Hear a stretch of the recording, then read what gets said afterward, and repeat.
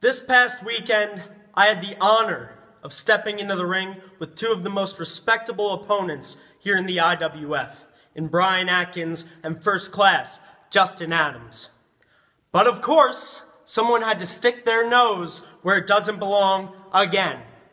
Dracko, if you haven't learned by now, I don't know when you will.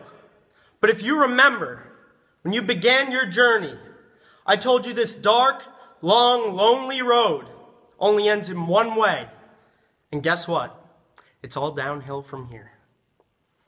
Final destination, destruction of Dracko.